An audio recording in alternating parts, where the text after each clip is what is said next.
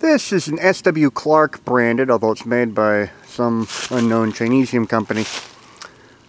250 watt halogen self-ballasted high pressure mercury lamp. So it uses a 125 watt high pressure mercury arc tube and based on my testing probably a 400 watt 230 to 240 volt uh, linear halogen lamp as the ballasting element. Of course, quite interesting to find these because these have gotten extremely rare and they were never common in the West because I think it was Osram GEC around 1962 was experimenting with using a halogen lamp as a ballasting element in self-ballasted or what the Brits call, because Osram GEC, a British company, uh, blended mercury lamps.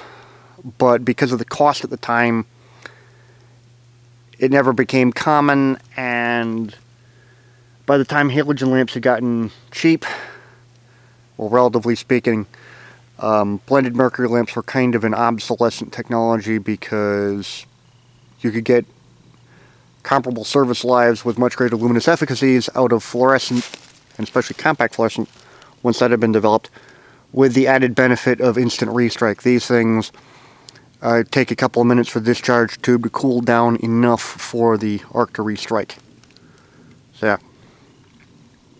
Of course, these lamps are also available in a 400 watt version, but I didn't get those because of the uh, power ratings and stuff. Because one of the unique things about higher pressure, or about blend, um, blended slash self-ballasted high pressure mercury lamps, is they're actually brighter on startup than once they've reached steady state operating conditions, but that comes at the expense of much higher power rating on startup. This one, when I was testing it, granted on 240 volts,